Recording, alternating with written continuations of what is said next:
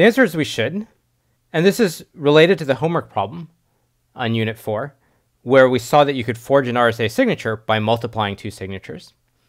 In this case, the message that's being signed might be used to produce other messages. So we need to be very careful when we output the result of RSA decryptions.